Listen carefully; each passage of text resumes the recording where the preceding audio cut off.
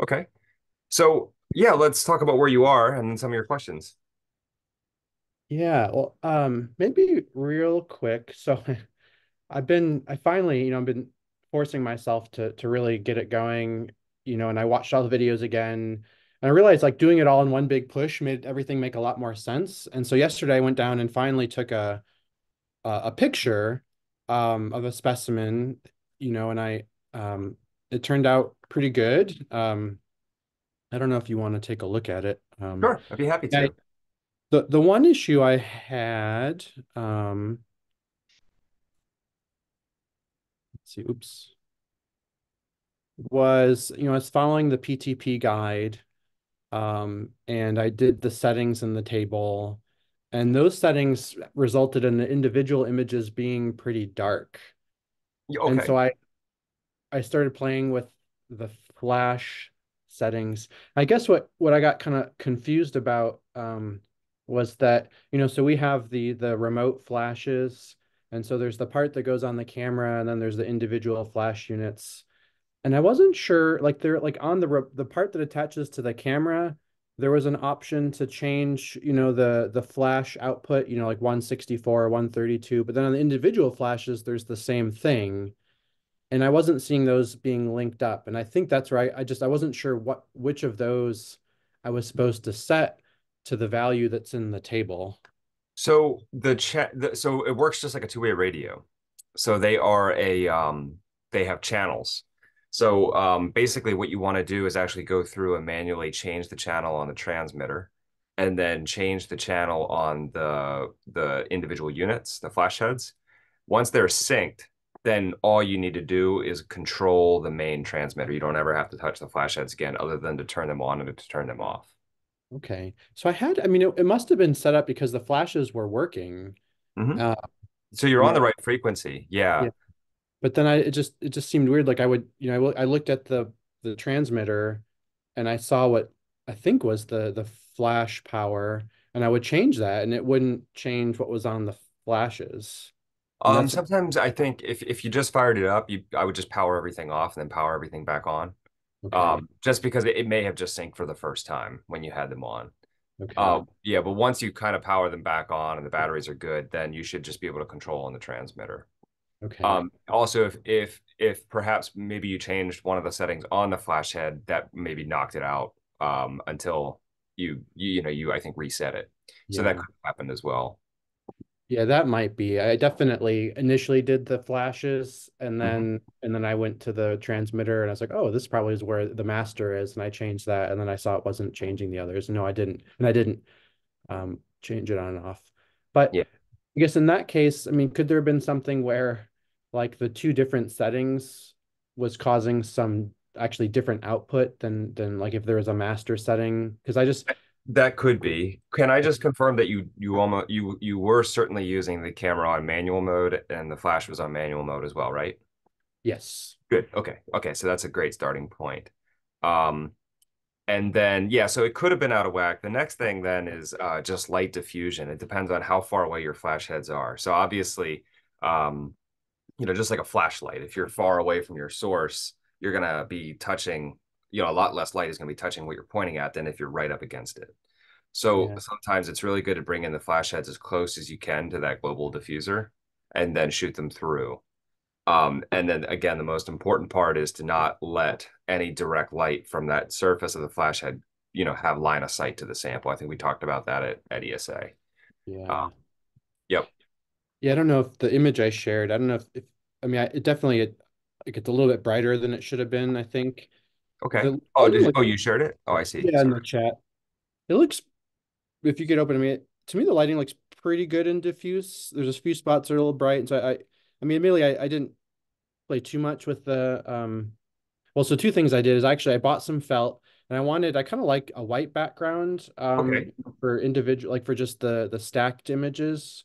Cause that allows us to like, I think easier, more easily crop out the background, like in, in Photoshop. Um, Sure. I mean, maybe there's other ways to do it with like a black background. So that's one thing I did is I used this white felt, um, and, Yeah. um, and I, I did notice, I mean, I wondered if, if, you know, I tried to get the, the flashes pretty close and kind of, you know, up kind of at the top and and kind of facing where there's that little hole in the the the the diffuser, the um the shroud.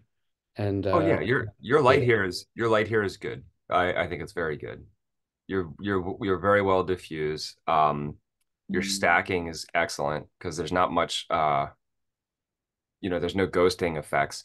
The only thing is, is this is where sometimes people that have been doing this a long time prefer the neutral gray is uh the hairs like around like the upper thorax. You can see how they kind of blend into the background. Um, yeah. they're just not getting the contrast that's necessary, and a lot of people favor a gray in order to pull out that contrast. Um, the other thing too is there's that effect that Hymenoptera specimens have where the wings have that more oil slick like rainbow effect if they're if they're contrasted against a darker background, whereas they just appear transparent against a white background. So you can see the wing kind of fades out against the white. So that's the that's the main reason why I think people in taxonomy that are taking images really like the gray. Um, but at the same time, I'm also just going to share my screen so I can kind of talk about it as well. Um, uh, I think I everything changed on here. Uh, sorry. Okay, here we go. Share. There could be these different needs for like um Yeah, there could there could be different needs. So like I I personally I still tend to um I'm an I'm impartial. So I, I'm obviously not like um actually I don't even know what I did with all of my felt. I had, I had them all in a case. Um yeah. but but t typically I tend to prefer like the really earthy colors. Um like I I actually really love card like a cardboard background. Like that color of cardboard. If you were to put cardboard back there, uh I I know that it's not talked about or done very much in entomology, but that brown I find from entomological specimens across the board contrasts excellently against wings, hairs, pollen grains, antenna, eh, like all of those materials. Um, brown? Brown. Yeah, like I think if you were to if you were to reshoot this, just put a yeah, honestly, just cut a piece of cardboard from a, an Amazon box or something that you received recently. Yeah. Just put that behind it and let me know what you think. Because personally, I think that that is just an excellent um color. So like I I have uh I actually have, oh, it's actually right here. so I, I, um, these are contrasted against brown. So this is actually, I think, probably just a cardboard backdrop, something that's really small. Oh. Um, and this, this is tiny. This is probably, I don't, uh, this is a, okay, so 10x objective. So this is a tip of a point mount. It's, it's obviously not a very well, uh, you know, the well-mounted specimen. Uh, yeah, the glue has like changed, but you can kind of see how the hairs here and everything, uh, if I were to just zoom in, is really um, contrasted really well. You can even see the color changes and the color hues textured uh, mm. of the hairs. So that's an example, I think, of like the brown background. I, I think we also have, um, yeah, the, these were done against brown. Um, I think I have like an uh, an ant um, album, well, Hymenoptera album, but there's an ant that we butted up against brown. Um, so you can see this is like Matt Buffington's gray and the gray does do a decent job of kind of showing the hairs but at the same time the gray is going to be a darker gray if it's not hit with a good amount of light and it's going to be a lighter gray. Brown's going to have that same effect but not to the extreme. So like here is a here's an ant specimen butted up against brown and once again the hairs here even the mites everything is contrasted really really well. The wings here are darker so we're, we've kind of been given an, an advantage but but i find uh, a brown is is just an excellent choice. Hmm. Um, so I don't know. I mean, it, it, that's a question of aesthetics, kind of personally to you. Yeah. yeah. Well, I mean, I, I definitely there'll probably be some standard background that we do for most things, and then maybe there'll be special use cases. But I guess what I was kind of thinking about is I've like I in general like I, I I've kind of tended towards the gray as kind of like the best kind of compromise for most cases. But mm-hmm. at the same time, like what we often do, like for a paper, like with the phylogeny or something is try to you know cut out the the background and the pin and that's right i i guess i mean maybe it, it's fine but i think be, especially for like the wings where you get that translucence of whatever the background is mm-hmm. it felt to me like white is better you know to be able to cut stuff out without there being some you know weird different color you know behind the wings or in the hairs um and so that's why i've kind of started tending you know, towards white, but but maybe that's part of this is just my lack of Photoshop skills um, for for dealing with with that. Um, maybe I think um I think you will have to use rely on Photoshop a little less if you did put a darker color behind a specimen. I think uh, it's just it's just if the question is to gather detail, as much detail as possible, the truth is that some hairs and some of the wings against white are always going to some, be somewhat lost just because it doesn't have the necessary contrast. Yeah.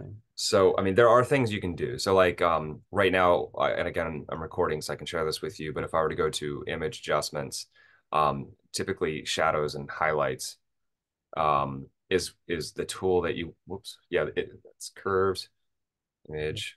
Um, yeah, shadows and highlights is the tool that you're going to want to use.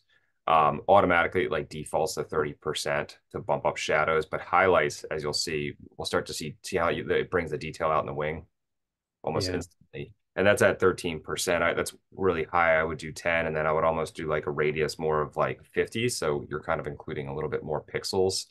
Um, and then it's possible where, you know, I actually don't see much much problems associated with shadows here. There's maybe some darkness, but so honestly, like a 2% bump might help a little bit. But some of the hairs have come back. So this is that's something that you could do if you did want to continue using white and have this data. But as you start to move towards 3D modeling, you're going to find that you're going to have a nightmarish time trying to develop the wings uh, if they don't have good contrast. Yeah. Um, so Well, that that's that's the main thing. question. I, I remember I, I haven't watched all the 3D modeling videos yet, but I did, you know, Mhm. in the, the the Big Bee ones, I mean, there was this comment about black background being maybe better for the modeling because it pulls the hairs out, you know, better if they're light colored hairs. And so I was going to ask, like, if that for the 3D modeling, if you always want to go with like the black, you know, the kind of the natural black, or or if gray is okay too. Uh, gray is the, is the standard. Everybody's using gray. Um, so there actually is a uh, people are publishing now their workflows part of Big Bee uh, Oh, in terms of the settings that they're using. Uh, Adrian Carper at Denver has a really good one, um, and that's basically public on. I think the I think I've invited you to the Slack channel. If you uh, navigate to the photogrammetry section of that, inside the Google Drive folder is um, basically the protocol that he has put together uh, in terms of how he's doing the imaging. A lot of it is extremely consistent with uh, with what I present in the Big Bee video, the instructions. Uh, however, there's a couple of settings that they have modified in order to refine the model. Uh, and there's a couple of things that, um, you know, just clever staging um, ideas, uh, the same stages that we provide, but he set them up in a slightly different way to just sort of um, basically not have the stage move behind the specimen. So things things like that. Um, so I, I would look for that protocol.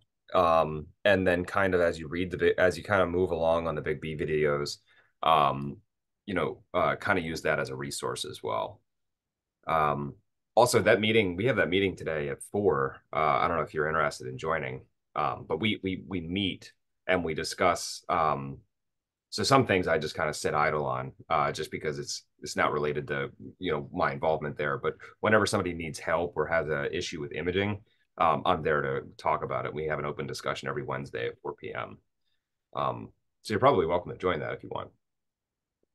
Um, yeah, I don't know if I could make it today, but I, I would be very, especially since there's, I mean, a working group focused on bees specifically, and now we have the system. Mhm. Uh, that'd be awesome. Um, and maybe I, I should kind of, I haven't connected with Katja just to let her know that we have it, it's up and running, and we'd like to participate. So maybe I'll, I'll do that. Yeah, that'd be a great idea. On the Slack channel, I, I guess I haven't connected to it. I found an email where you said, here's the link, and I clicked on it, but I'm not quite sure how to get get Let it. me um yeah, let me uh figure that out real quick. I'll send you the link. Um, one thing too that you kind of mentioned, uh, just going back to the actual imaging of this, um, while I'm looking for that, the Okay. um, is that you said that you turned to the flash and you brightened it.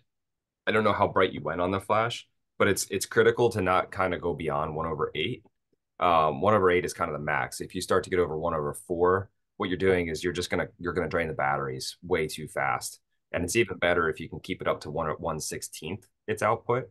One over one is a definitely no touch zone. Uh, the, the flash just won't recharge in time. You'll just bleed through the battery power.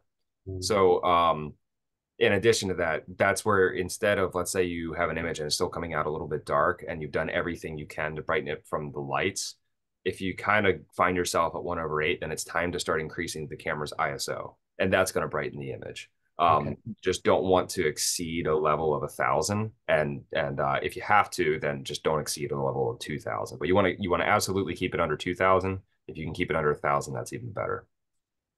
So that's um the ISO.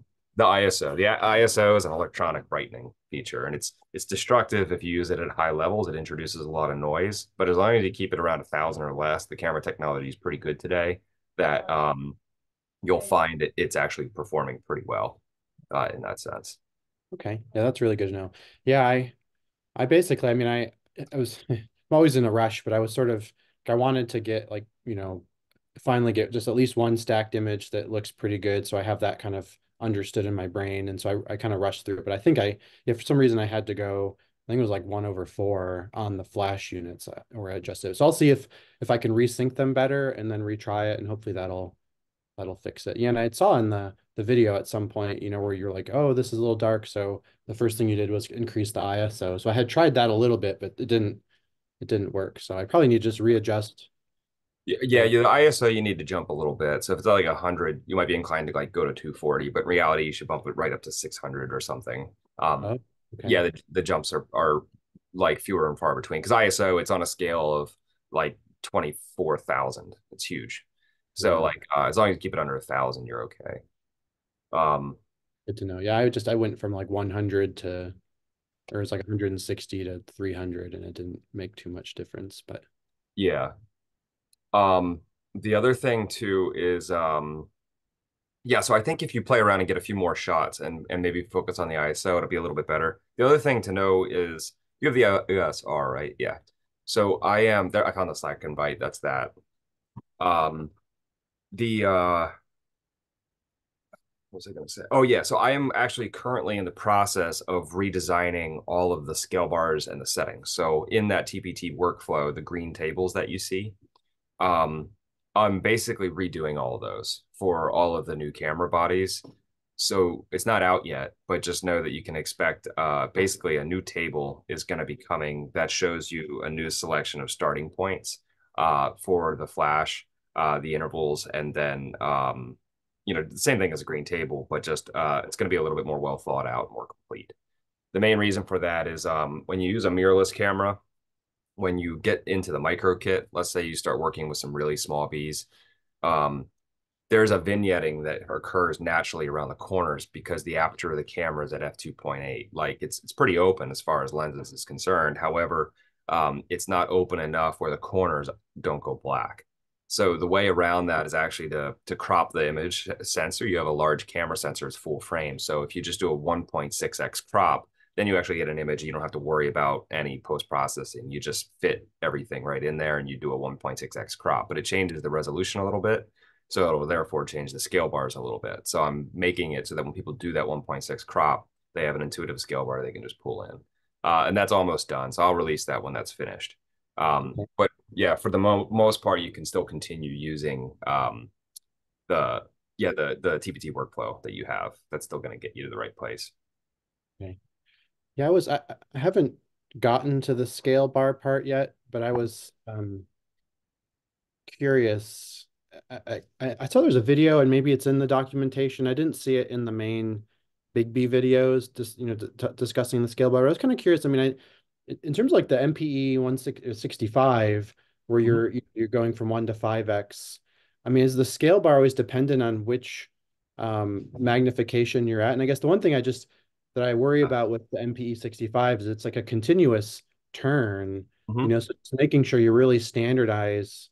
You know that you're at you're really at one or two or three x. I wonder if if there's you know guidelines on that because sometimes people use these images like for doing measurements and stuff and Certainly. you really want it not to be you know sloppy yeah um, I, so the um you'll find that the amount of cropping that occurs when you're at a 1x like basically i'll just kind of show you um uh, got one here somewhere um oh yeah here we go yeah so so 1x is when the image is kind of recalled so basically you can see that when the image is all the way back um that's where the band is around the it's right on the yellow line So as long as you're right on the yellow line when you're at the next magnification, like the same yellow line is showing, that's that's where the scale bar has been made. So, um, and even if you were, let's say, we were to bump this like plus or minus, yeah, that's going to interrupt scaling, but you're talking about a margin of error that's probably on the orders of a, a percent.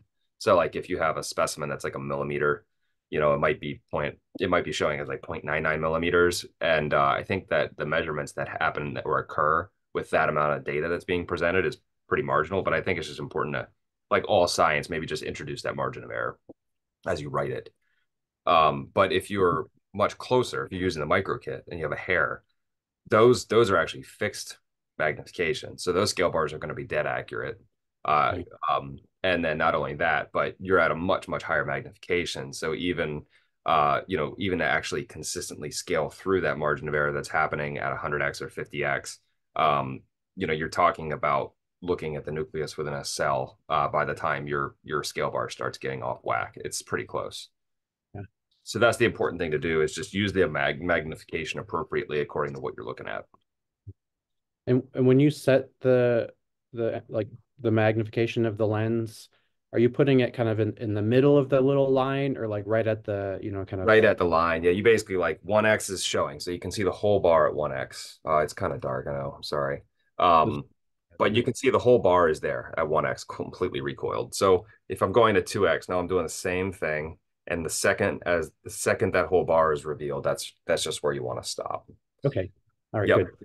Yeah. It's those little details I want to just, you know, when I make a document about for our group of how to make images and add the scale bar, I just want to be really specific. So that's yeah, that's helpful. Definitely. And as I said, everybody's going to get a whole new document with new scale bars and starting settings, and that's going to be helpful for everybody. Um, the next thing uh so i think from from here it's actually really good to just sort of repeat the method you know just kind of as you figure it out take a few more samples get really comfortable with how the system works maybe maybe change the magnification slightly and then go again um and then uh once you're kind of comfortable there then i think it might be a good idea to then talk about how you're going to do the field portable system we could talk about it a little bit today but i think it's better for you to have a good understanding um, because it could get a little bit more complicated. The problem is, is that when you get into the field, it is going to have to be a little bit more of a um, like an in situ operation where you know like certain conditions that you're dealing with. And honestly, I freezing bees is going to be, I think that'll be tough. I but you you know that better than me. I don't know how much they'll move even when they're anesthetized. Yeah.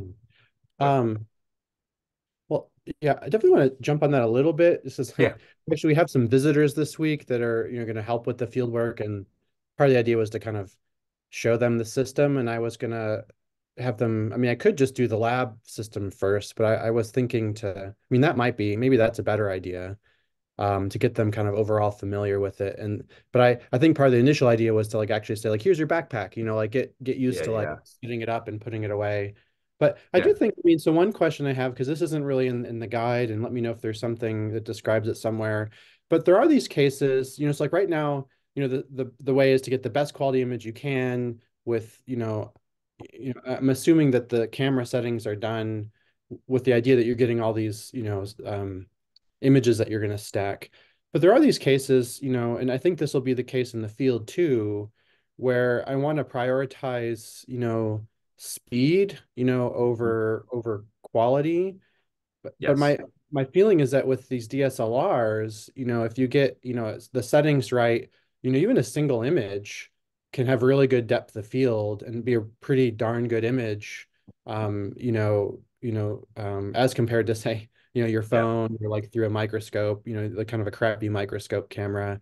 And so I was wondering if you have any, you know, general guidelines for like if we want to do a single image of a, a bumblebee or even a small bee like this one, you know, where it could be like a profile in the label, um, like what would be the best setting? So that, that's exactly, um, yeah. So that, so that's exactly, I think where, like where you're going to be going and where you're going to be like, that's, that's the key important thing is. So the reason why maybe I suggested that like, it's good to sort of understand and, and shoot at different magnifications is because you're, you're going to start to understand how a camera works.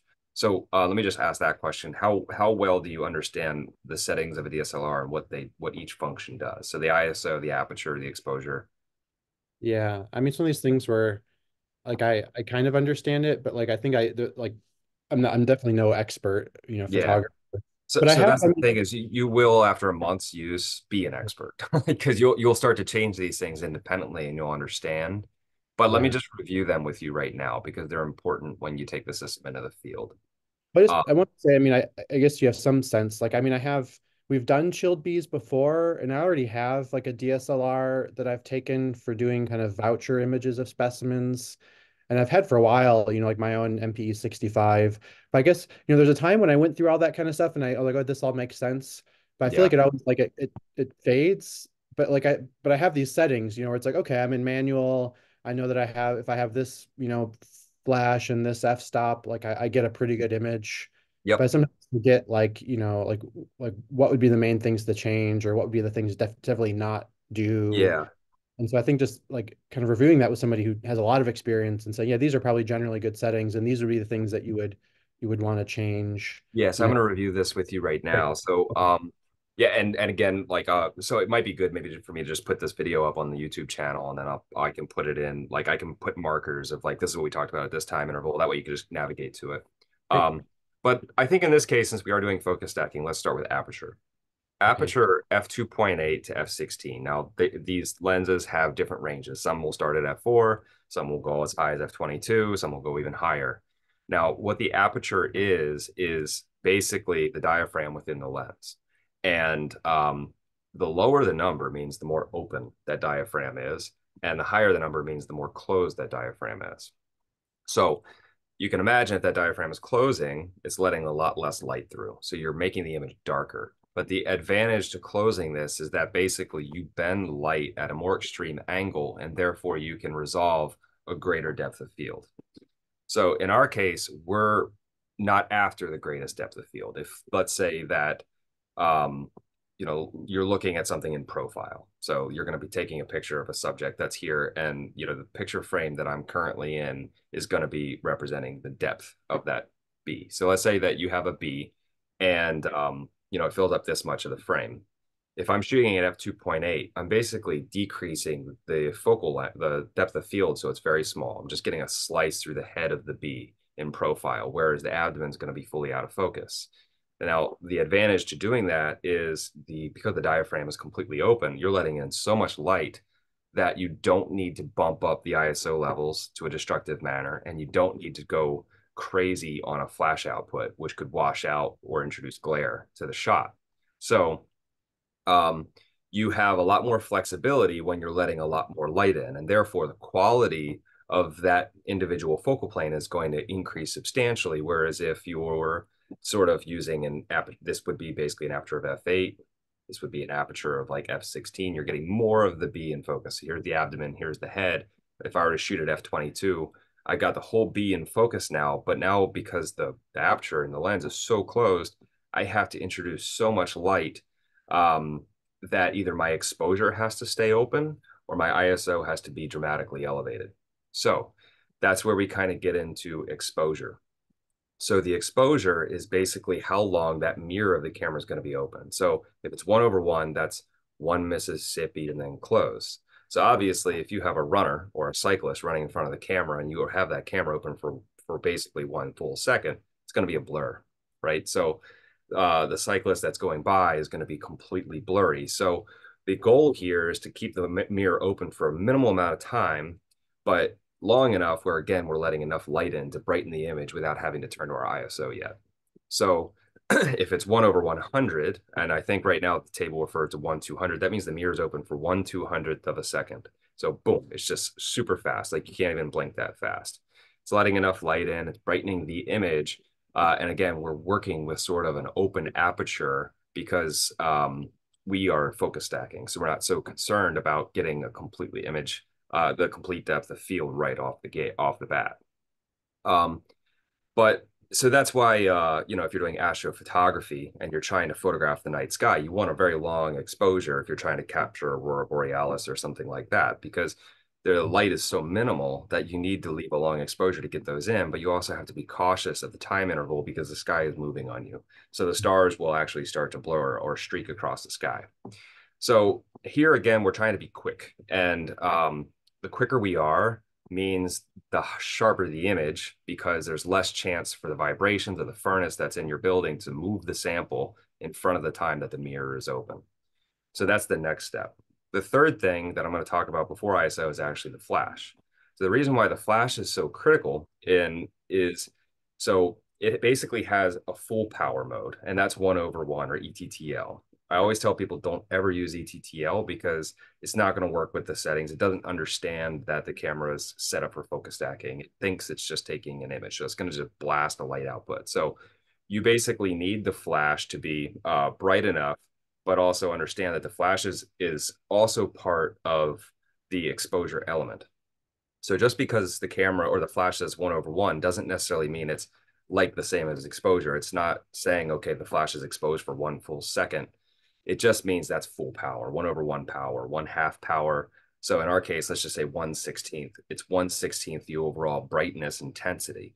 But the flash itself is actually emitting light at like one two hundred thousandth of a second, like very very quick. In fact, quicker than um, the the camera's mirror is even even doing the shutter. So the mirror is open, um, you know, one two hundredth of a second, and within that one two hundredth of a second, the flash is also basically uh, shooting. So it almost makes the mirror look like it's moving in slow motion. And then bam, the flash will fire, illuminate everything, and then the mirror will close. So that also is cutting down on vibration because in addition to the bee sort of being on a vibrational table, the light itself is ensuring that the sample is not moving and it can't blur or streak in any way.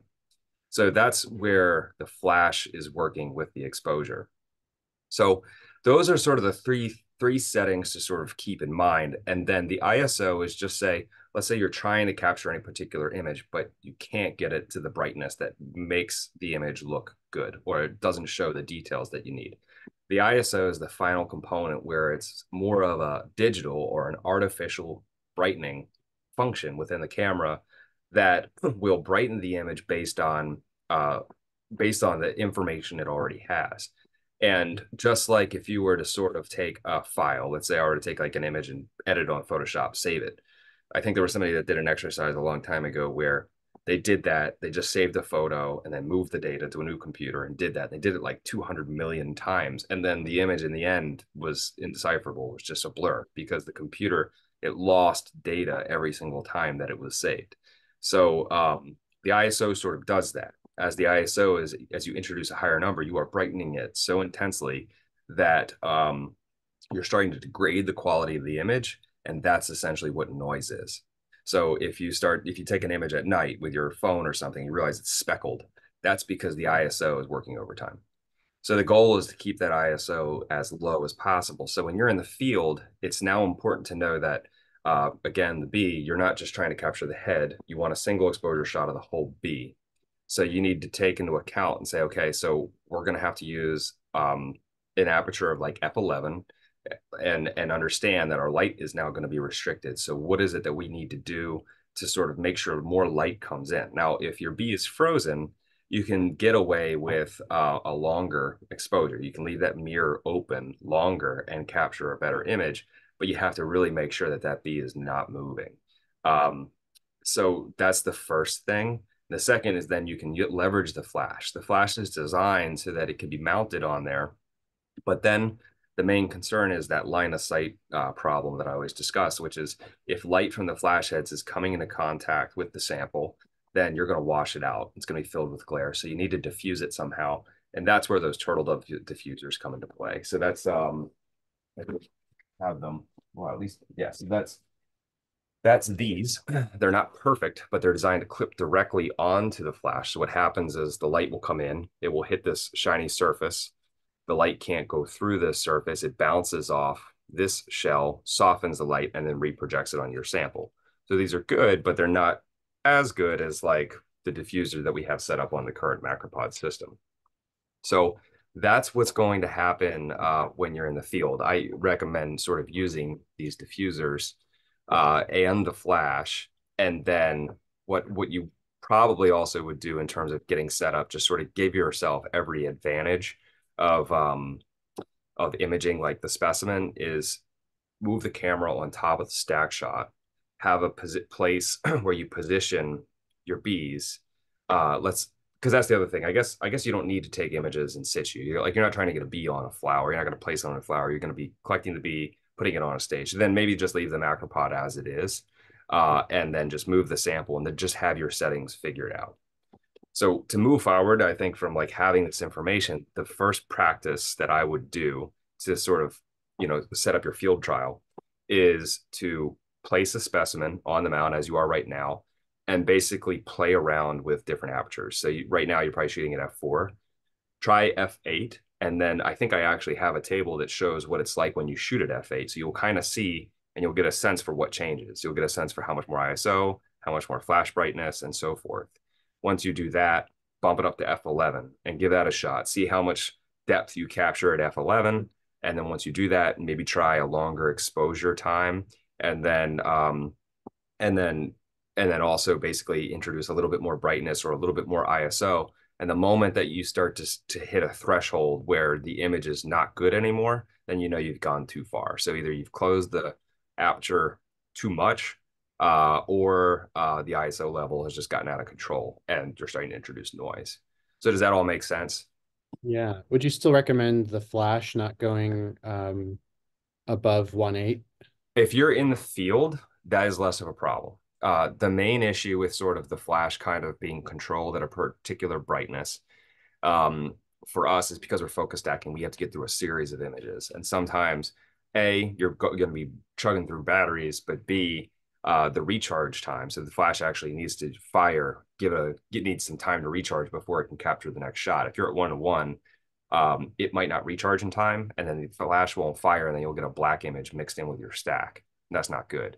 But if you're taking one exposure, then you're correct. You can basically just leave the flash open at one over one, but just know that now you need to really understand your lighting a little bit more. So let's say you're at one to one, you're using these turtle doves. If these are right up against your specimen, uh, they're going to be uh, basically very bright up against your specimen. So now you need to bring the flash arms a little bit further away. So that way light has a little bit further to travel. So as it's traveling, it's not just like a laser, it's starting to spread out and become more diffuse and soften as it as it reaches the specimen. So those are the, the key things to think about. Okay. Yeah. So I mean, this is kind of what I thought. I mean, I so like when I've before now, you know, I've had this DSLR with the MP65 and the twin flash, and actually had bought some of your turtle dove diffusers because I like they just snap on and so I've been doing that for these like kind of voucher images. But the big issue I've had is, you know, I'm all I'm usually just holding the camera and I have found that it works okay, but you definitely see like when you you zoom in, like it's not crisp. Whereas I have a friend that shoots with a 100 millimeter on a tripod, and actually the bee like in the picture is really small, but he crops it and it still looks really good. And so I I guess one of my questions, I mean, so I, I like the idea of using the main like the same thing as the lab setup with the tripod you know on this you know kind of angle with the camera mounted. I guess what I'm, i have been uncertain the, the main thing is i'm kind of uncertain about are like should we use the mpe 65 versus the 100 millimeter? And then in terms of like how to put the specimen. So i like the one thing i kind of clicked in my brain is that we use this rotational stage really that's kind of for like it can be for the stacking, but it's also really for the, the 3D modeling because you get the rotation. So in the field, we'll use, I guess, what is your more the standard mount, I guess. Yeah. And I that's what I'm just trying to see because it's kind of on an angle. So we'll have this this bee that's chilled. So we generally get like, you know, a few minutes to five minutes where the bee basically doesn't doesn't move. Um, and it can always be rechilled. But the the hope is to sort of get everything set up where we can sort of quickly put the bee in place and all the settings are just right, you know, and we'll take, you know, like, you know, three to four single images that come out pretty good, you know, where we maybe tweak the position of the bee a little bit. Um, and then we're done. And the bee comes off. And in this case, we're going to um, uh, let the bees go. So the idea is that this is this project where the people don't want us killing any bees. So we're trying yeah, to get good images and then letting them go and swabbing some DNA from them potentially.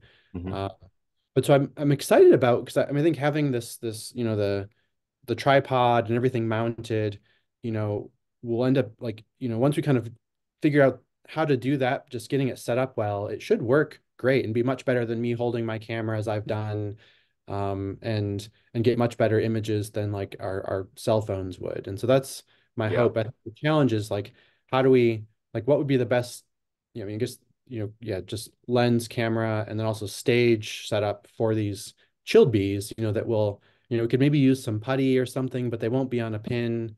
Yeah, maybe a way to kind of, there could be a way to sort of get them on a, you know, like, you know, stick them on a pin somehow, you know, you know, and I guess pull them I off. think I think of some way to do that, but I've usually just put specimens on like a paper plate and you know, taken a picture from that's I think what I would do, or I, I would actually continue to just use the box, um, like a, li- a Oh, little box, and then uh, have it on there. So I will tell you that the the only the only project that I've ever endeavored that was similar to what it is you're trying to do is snowflake photography. So oh, obviously snowflakes have to stay in situ, um, because um, well, first of all, if you touch them, they melt instantly. So you you have to take the system outside, and you have to do it in sub-zero temperatures. Um, and we were able to get good images. Uh, and um, the only advice I would have is let's say that, um, well, a couple things. One is um, I would continue to use the Macropod's current configuration. That's what I had always done when I was in the field. Um, and the tripod, to answer your question, is going to give you leaps and bounds greater image because the thing is, is uh, if you're doing handheld, there's no way that the camera's not moving, uh, no matter what your exposure is at. So you need to be at like one two thousandth at a handheld in order for it to freeze everything, and that's simply just not enough light at the macro scale. So, um, so a tripod is going to allow you to leave that longer exposure and also it's going to keep everything more stable and introduce less motion and therefore the quality of the image will be crisper. So the tripod is direct is is directly the reason why your friend was able to get better images uh, over the handheld. So you have that leg up now. The uh the, the recommendation that i would make instantly is that understanding your specimen sizes is to use 1x magnification only on the MPE 65 if you're going to use it. I would stay away from going to 2x, 3x, 4x, 5x. Uh, I would just leave it at 1x. You're going to get a good image. And it's really kind of that would honestly be my preferred lens to use simply because you can figure out where the focal plane is in advance and just leave everything completely set up, place your bee, take the picture, and move on. Whereas the 100 millimeter, you could do the same thing, right? Like, so you can figure out your working distance and you can figure out what your depth of field is going to be and then turn the lens off so that basically it's on a manual focus, just like the MP 65. However, there are times maybe where the bee is starting to wake up and you're like, you didn't get that last shot and you need to get an image real quick just to complete your data set. That's where possibly having the autofocus feature in the 100 millimeter is going to be an improvement or a leg up. So so I I think those are the two things to kind of consider for you. Um, I would maybe start at one x. If you go to two x, I guarantee you're going to have a bad day. so stay at one x, and then uh, if you find that uh, the depth of field or maybe the image cropping is just a little off at one x, then that's the time to maybe shift to the hundred millimeter and figure that lens out. Um, and then just know that maybe it's beneficial or in your interest if you're using the Macropod setup to keep it in manual focus, not in auto focus. And then if it starts to move on you, then real quick, switch it to auto and just capture an, a picture in auto mode and call it a day on on that. So that's what I would that's what I would recommend uh, in that case. Um, the yeah, flash would basically be the the wireless flashes on the arms and really just pointing directly at the stage. You But in this it. case, it'd be without the shroud, um, but Yeah, you can do it on the arms, but I actually I think it came with a mount too that allows you to mount it directly on the front of the lens as well. yeah. So would that be better? That that uh I don't think it's better, but I think it I think in the beginning it's going to be easier. Yeah, I think I think actually having the arms and moving your lights away and being able to manipulate light with the arms is going to be ultimately better. So that's probably the best. Um, but yeah, just know that if you switch to a handheld position, then a le the lens mount is going to be the better option. Yeah. So yeah, That's really helpful. Yeah.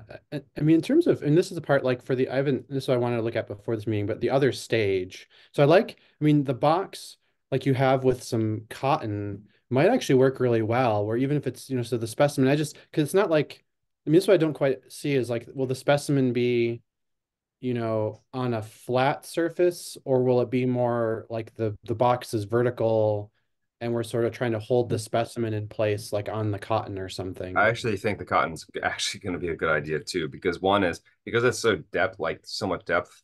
um, it's not going to illuminate really bright. The light is going to be diffused as it goes through it. So uh, that's going to be good for that reason.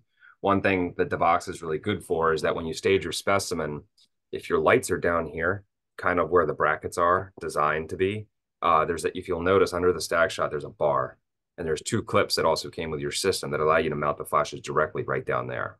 Um, that's actually a great setup. So like um, kind of look at our older videos, just the Macropod Pro 3D and see how we set up our lights. You might want to mimic that. Um, but what you're using then is you're using this outer edge of the box to block the light from coming in the line of sight with the sample. So this might be a little deep. I might actually just cut this in half and stick it back in there. But almost guaranteed the way that this is all wiry is that the hairs from the bee are going to just grab this and you might even be able to just put a bee on there and it's just going to stay fixed. So this actually might be a really good way to position your bee uh, is to just use a, a sample a jewelry box um, and then just give that a shot. I think that would probably be pretty good. Yeah. And say we could even sort of cut, I mean, if we needed a little hole out of the cotton, so it'd be sort of, you know, set the specimen in there. Yeah. yeah just if it's not, if it's vertical or on an angle, it's the only thing is I don't, you know, we, it's, we don't want it to fall out. And ideally we want to get sort of like a profile mm-hmm. and mm-hmm. be a, like a ventral dorsal and face you know hopefully we can see whatever the characters are so it's it needs That's something a great that... idea yeah i would i would do that i would just take this and just plug pull a plug out and then um and then set the, it set to be inside of it i think that's a great idea that might be that might be the easiest easiest way to do it so and yeah, yeah it hadn't occurred to me yeah does that box does it just in the in the other stage does it just sort of like rest there, kind of 90 degree angle. It's not like it attaches. And, and this, I apologize. I just haven't worked through this yet eh, eh, real well. I just, I know we have the other stage and. Um, yeah. So, so there's a couple things. Um, I don't know if you had this stage. These are actually pretty new. Um, but this is the rack and pinion stage that you have. I just have uh, something else mounted to it. It's a slide mount. Um, but basically the L plate, what I'll do is I'll take the dental wax that we buy, just put a little bit on the bottom here, and then you just basically stick it, just stick it right on the stage.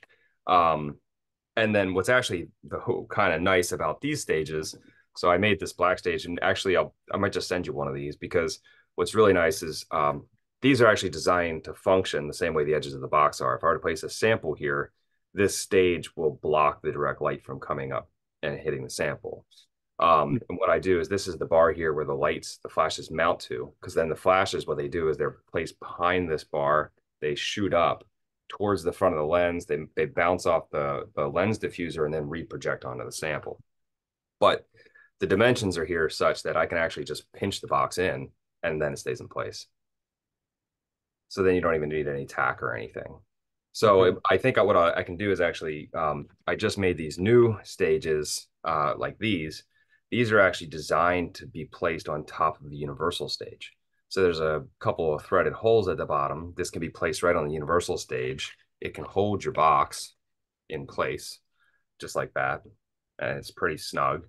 And then um, the real advantage here is the reason why it was made isn't necessarily for placing specimens, but it's for slides. So it converts the system into a microscope. Hmm. And one of the things that's pretty neat is a lot of people with a microscope, um, you can use the analyzer to reproject light so that it hits the specimen more obliquely. So like if you're looking at Hymenoptera and you look at look through it, you, you don't see much. But if you hit it with uh, oblique light, then all the cells start to show up. So it's left open purposefully at the bottom like that. So that way you can shine light through that window and that gives it that effect of oblique light. And then all the cells, you know, you see that relief in the slide. So that's what that's for. So um, I'll just send you one of these, and I think that's going to be helpful. So the universal mount, that's the rotary mount. Yeah, yeah. So they, um, so I, I think mine's mine might be in use.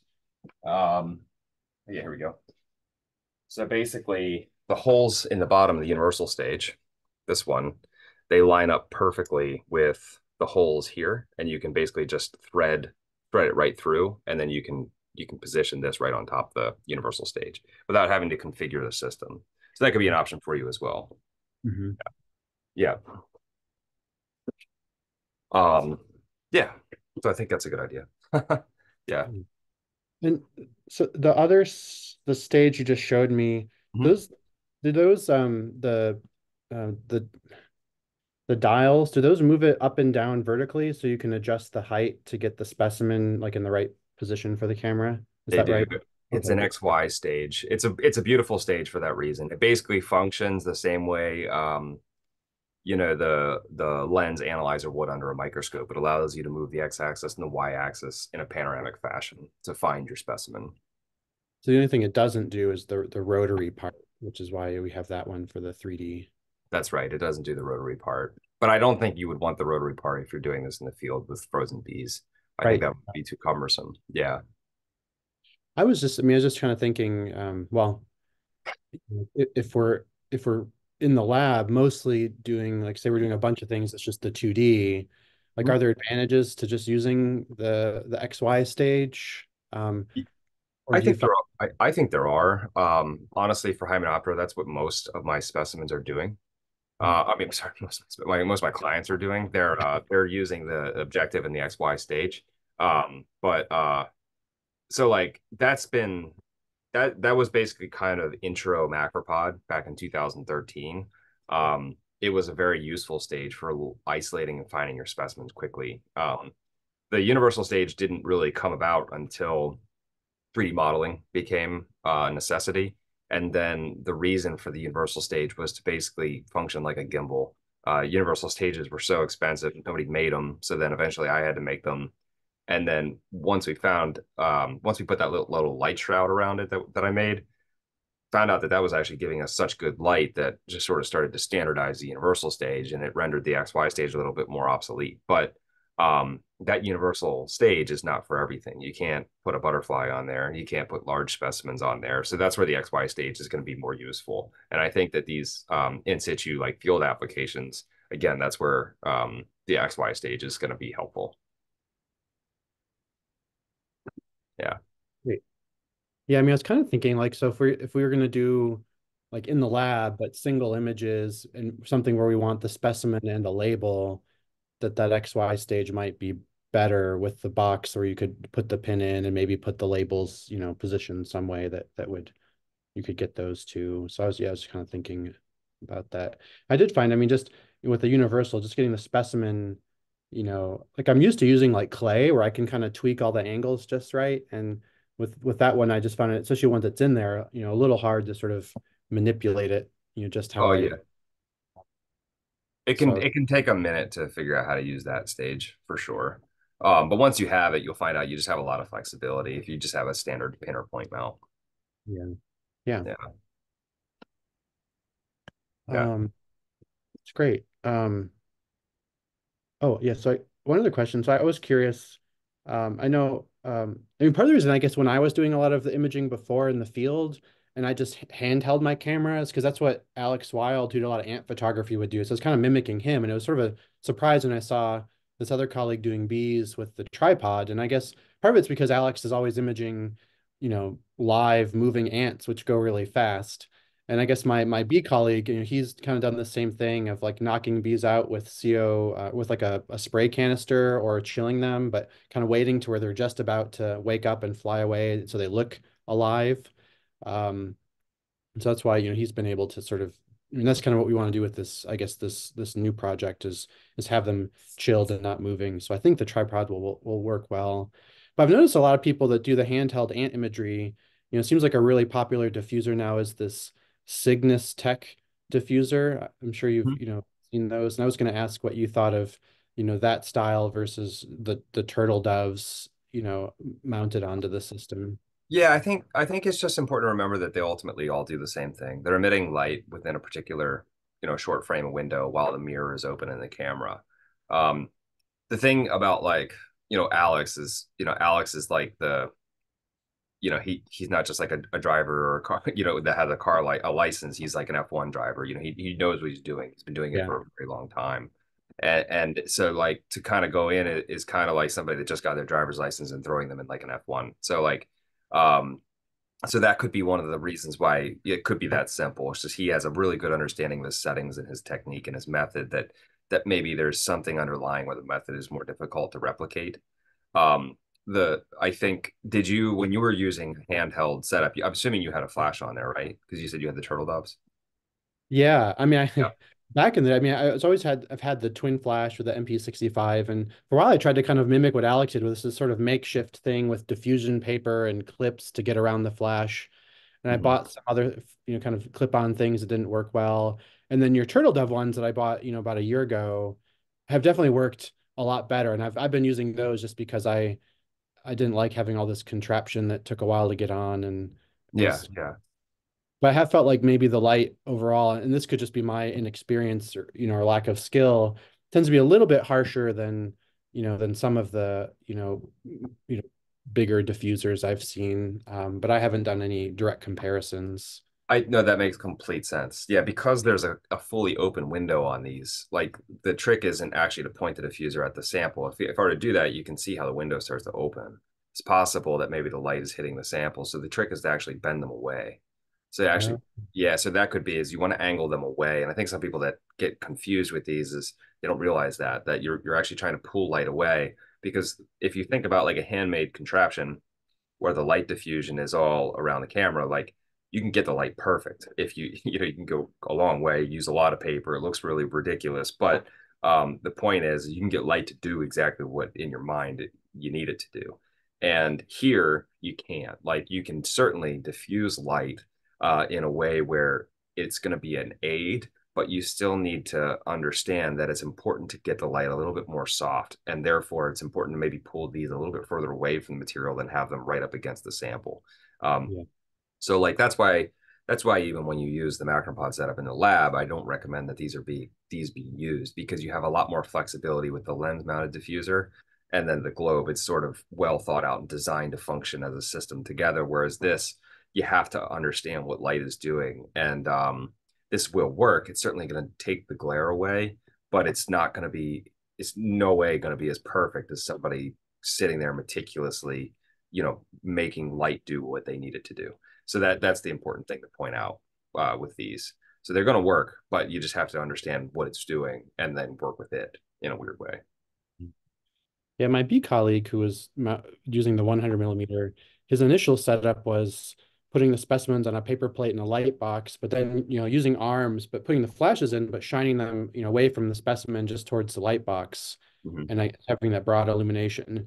And then he's since, I guess, has switched to the the Cygnus Tech Tech one, and he said he kind of likes his like it's easier with the Cygnus one, but he liked the lighting of the light box better. Um, yeah, like, yeah. So yeah, th this is great. I mean, I think you know, again, we're not part of it. You know, yeah. we're not in this field case looking for like the ultimate best images, but just no. something that's standardized and fast, but produces images that are much better than yeah, again, like our cell phones, you know, kind of thing. Um, so I think everything yeah. you've told me. You're gonna do you're gonna so i can think as long as you kind of recommend the uh like i think understanding those settings is key that's first actually if you were to take this out and image snowflakes you'll know what you need to do for the bees um like almost instantly. It's actually might be a good exercise if there's snow around right now. Um but the other thing i just want to do i'm going to share my screen again because so in here this is you know this goes back to 2013 back when the company was being formed. But we've like in situ so for here this is um, yeah, this was like me doing a handheld image of like the face of a turtle, right? So the turtle face is going to be somewhat similar to, um, oh yeah, you know, the face of like you know like a whole bee, and that that me that handheld shot wasn't like a good shot until basically I mimicked the macropod. I set the macropod up outside. I grabbed the turtle and I literally put it in front of this of the macropod the same way I would have done um, you know, a bee specimen. And I'm not sure why I'm so zoomed in here, but um, if I were to go to like the reptile album, actually, yeah, almost everything in here is uh is live. So this is that handheld shot, and it was the best I could do. Whereas mounted to the macropod and using the settings, you know, these were images I could get of like its eye, um, much much more detail and again pretty crisp not as crisp as a focus stacked image but and here this is actually going to be a particular this is actually a really good exercise because it's showing you the depth of field so you can see I've, I've obviously have a pretty big aperture and because this was a single shot it's going to show me i used the mpe 65 the iso was at 3200 um exposure was 1 over 100 i did not use a flash so i was obviously disadvantaged if i used a flash I probably could have got the ISO to down to a thousand, but I didn't want to use a flash because I didn't want to harm the turtle. so that's that's why uh, it could have been better if there was a flash in play. And then the aperture here is f16. So these are settings that I think that you could probably um, yeah, probably sort of mimic because uh, and this is right on my Flickr page. You just navigate to the reptile album, take a look at these settings because I think that depth of field is going to be adequate for a bee. Uh, you can see how the nose is a little out of focus and the neck is a little out of focus, but the majority of the head is is there. So, um, and here, uh, this one, I, I think I took more time because I saw that the nose was. Oh no, this one I actually did try and focus stack. I think so, and this is something that you could potentially do too. So let's say that the depth of field in a particular B is not quite um, matching uh, to like the aperture that you have set. You could also just make the aperture f12, uh, still have a very long depth of field and, and change it over and get two shots or three shots rather than 40 shots. And that might allow you to focus that. But you can see here um, the reason why I did this, and I think I used a flash, is because I noticed his eyes were closed. So I, I didn't want to bother him, but you can see his eyes were also moving, and therefore there's a bit of a blurry spot around the eyes um, settings down here. So this was definitely a stacked image because the EXIF files uh, for the camera settings is missing. And back at this time, Zerene Stacker did not preserve the original EXIF data. So I don't have the camera settings for this. Um, today it does. Uh, yeah, so so this is this is a textbook example. Uh, this was an image as well. This was uh, single exposure through the eye of like a crested gecko. So yeah. I and this was in a macropod configuration. So I think as I think if you stick along with the macropod configuration and know that you just need to to close the aperture and then sort of supplement the bright the loss in brightness, you're you're gonna you're gonna be getting professional grade, very good quality shots doing what you're doing. So that did remind me. I mean, so for so using the MP-E 65 in the field, uh, um, for focusing, I mean, I guess I wasn't sure if I if we would take the StackShot out and have that basically attached to a battery and we would use that because the MP65, you know, you can't, it doesn't actually have a manual focus, right? You're, you're just sort of, you know, you have to move the camera or the specimen. Yeah, but you wouldn't want it to. If you're constantly having to um, rely on, uh, like, let's say if you if you wanted to rely on an autofocus, your settings are going to be changing, and therefore you might be further from the specimen than you realize, or closer to the specimen than you realize.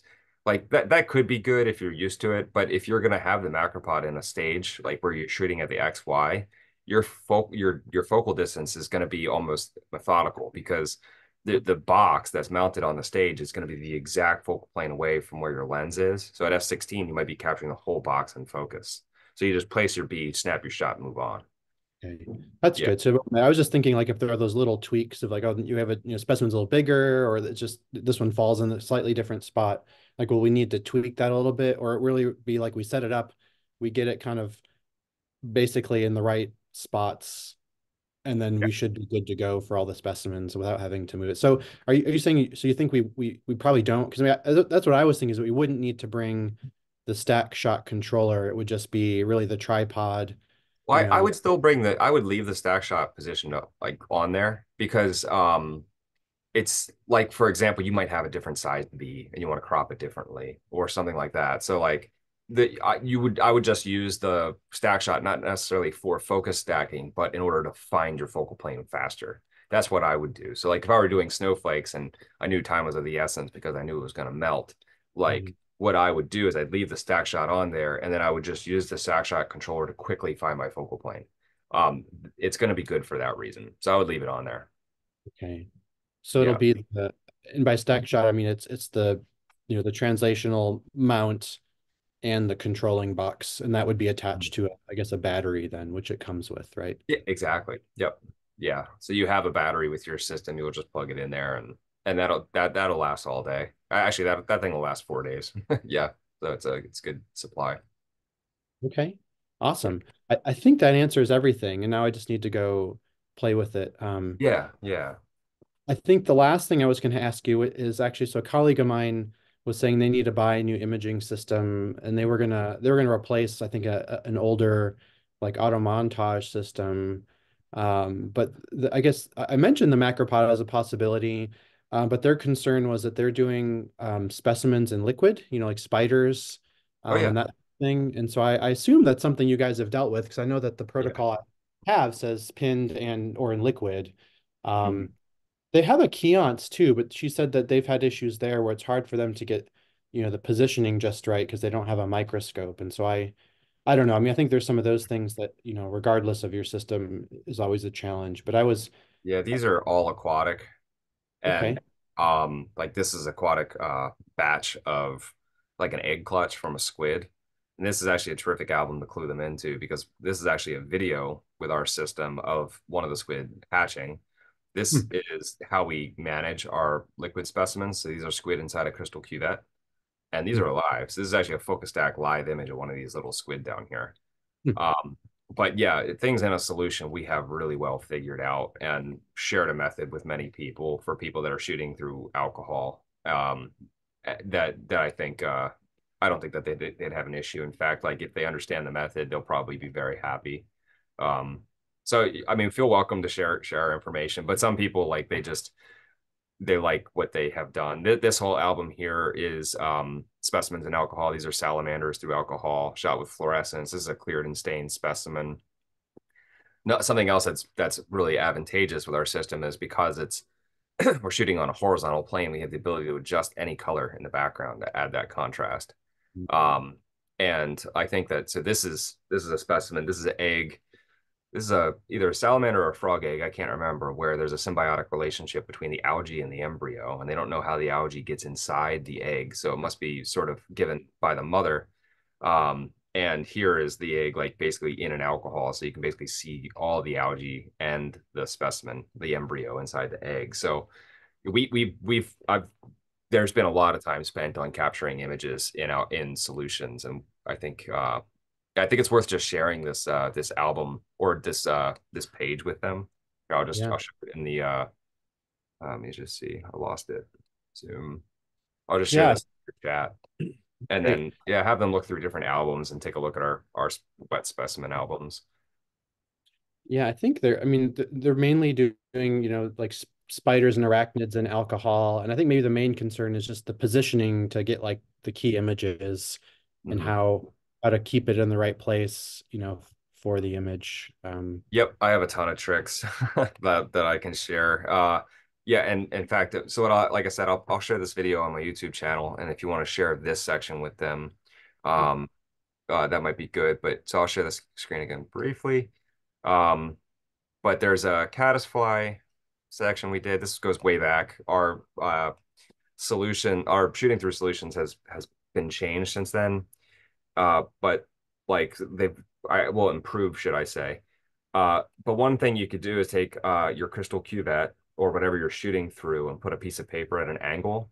And what I find is the texture of the fiber of the paper is enough to grab it. You know, you're gonna you're gonna see this with the cotton in your bees when you're shooting in the field, and you can position your specimen against the piece of paper that's at an angle at almost any any angle. So it's really becomes very easy to manipulate your specimen. Some people try hand sanitizer or gels. Problem is you get bubbles. It honestly, it's it's more more struggle than it's worth. So I honestly I shoot right in a solution, right in water. Um, or and I've never had an issue. And kind of some testaments to this is the pollen grain album. This is actually pollen. This this engineer was interested in how pollen grains uh, function at the air water interface. These are actually pollen grains floating on the surface of water, focus stacked at I think 50x magnification, and we were moving the water.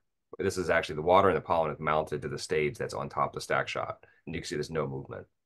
mhm. So uh, in between picture frames, we actually get pretty good detail there.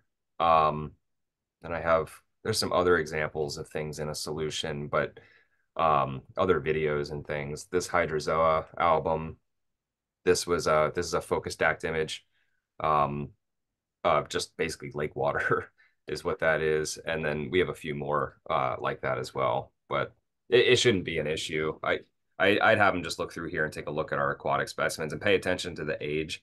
Like this was shot in 2014. This was a year after the company launched, and we were trying to figure things out. If you were to take a look at some of the aquatic specimens we've done in the last five years, um, the methods we have implemented are just they're they're so much better.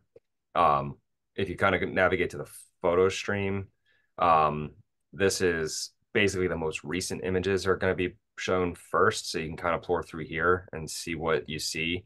Um, a lot of these are going to be pinned. Some of them are just somebody brought me a sample and they wanted to see something. Um, but there's going to be this is this is same thing. This is a petri dish culture of uh, funguses that are developing uh, that are uh, couldn't be contaminated to the air. So they were also in an enclosed container. Um, but yeah, I would have them look through here. Okay, great. Yeah. Well, I think this is awesome, and uh, yeah, I have to run. I have to go pick up my kid yeah, from. Yeah. Same. So yeah. Your, yeah. well, this was a good chat, and then um, yeah, if you need anything, don't hesitate to ping me. I can jump on again, and uh, I guess good luck. Keep me posted. Okay, great. I will. Thank you. All right. All right. Take care. Bye.